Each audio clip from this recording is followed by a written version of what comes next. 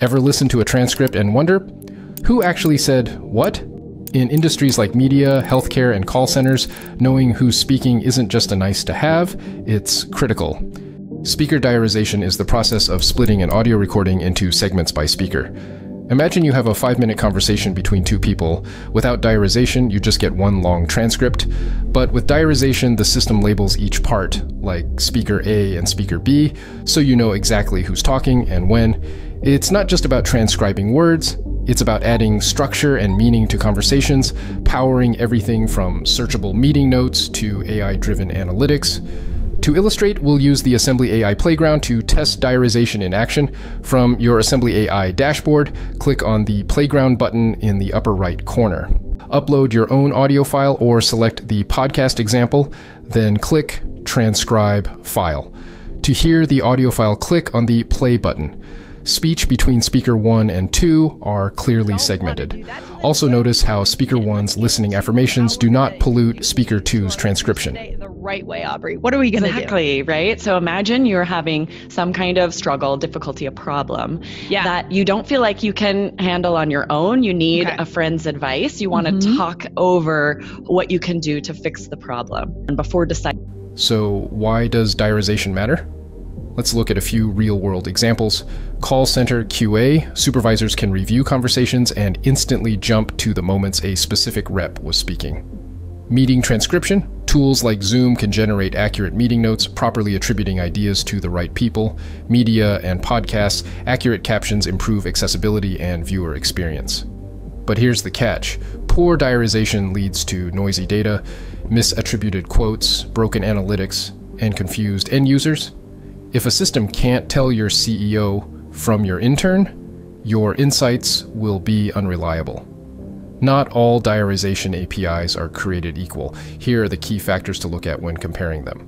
One diarization error rate DER measures how accurate the speaker segmentation is. Lower is better. Visualize it like this. A low DER means the transcript matches the true conversation closely, while a high DER is full of mismatches and missing labels. 2. Speaker confusion. Even with good segmentation, the system might mix up who's who. This is especially critical in legal, medical, or compliance scenarios where accuracy matters. 3. Overlapping speech. Handling real conversations often have interruptions or people talking at the same time.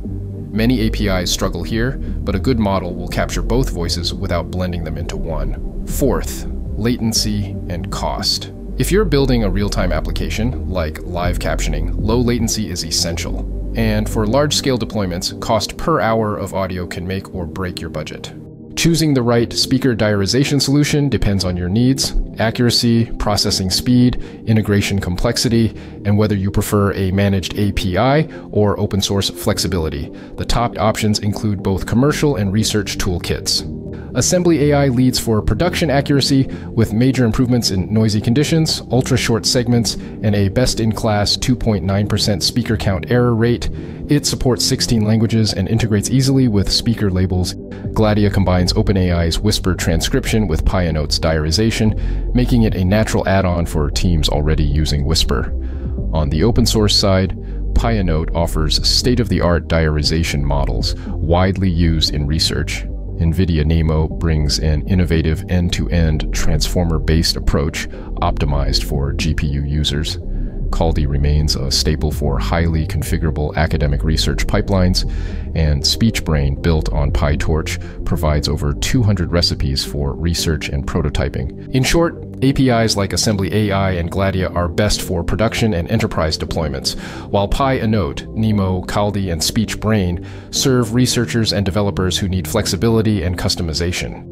You can try Assembly AI's diarization yourself. Just sign up for a free API key and start testing your own audio files.